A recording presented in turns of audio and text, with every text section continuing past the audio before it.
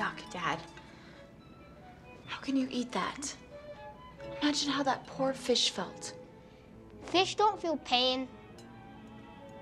Just because you don't see agony doesn't mean it's not there.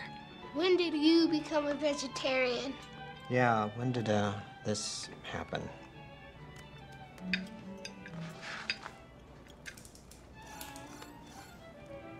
Four months ago? Wow, for a bunch of geniuses, you people don't pay very good attention. Because it's stupid, Stella. Timmy.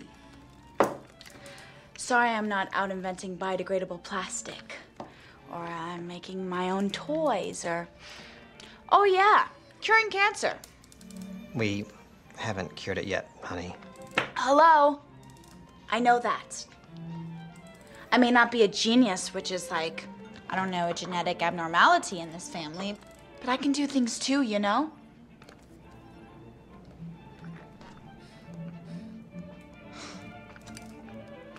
I could start a revolution. That's uh, nice, dear.